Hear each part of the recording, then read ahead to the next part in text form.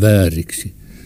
Kenties on syytä vielä sanoa, että Max Jakobson on kirjoittanut kirjassaan Kuumalla linjalla seuraavasti.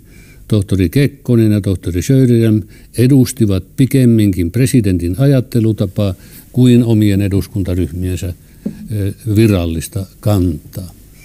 Tällainen tämä asia on. Ja monet historian tutkijat ovat sen selvittäneet, että se on juuri näin tapahtunut, eikä siinä ole siis mitään sellaista, josta Vennamo on tehnyt vääriä johtopäätöksiä tai tietoisesti vääriä johtopäätöksiä.